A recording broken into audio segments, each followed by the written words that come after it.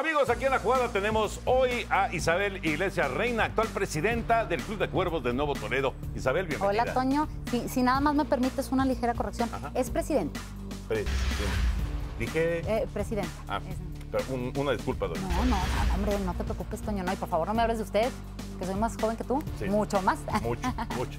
Rafa Reina, gran estrella en otras épocas del equipo. Ahora el director técnico, Rafa, bienvenido. Antonio, muchas gracias, amigos del teleauditorio. Buenas noches. Y obviamente para platicar del polémico partido de Cholos en contra de Cuervos, ¿no? Pues sí, eh, mira, Toño. Los muchachos dieron su mayor esfuerzo dentro del campo, pero es evidente que los Cholos tenían un jugador de más y ese era el árbitro. O sea, ¿piensas que el árbitro influyó en el resultado del partido? Completamente. No, a ver, evidentemente influyó, por favor, Toño. O sea, por favor, ese no fue un juego limpio, tú y yo lo sabemos. Pero ¿a qué te refieres? Bueno, me refiero que- a que evidentemente ese árbitro estaba comprado, Toño.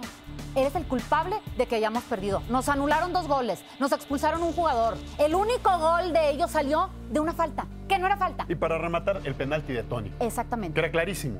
Sí, clarísimo. Cla- no, no, no, clarísimo. Nos robaron el partido. Y por eso caímos a Liga de Ascenso. Toño, esa es la realidad. Bueno, entonces me imagino que tú y tu hermano van a tomar cartas en el asunto, ¿no? Sí, exactamente. Sí, sí, Chava.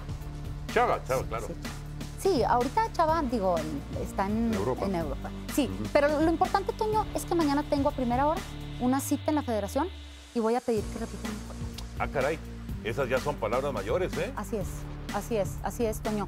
Y a quien esté empeñado a ver a los cuervos caer, quiero decirles, ¿verdad? Que no, que- que- perdón, ¿cuál es mi cámara? Acá, ¿En dónde? acá este. Ah, acá, acá.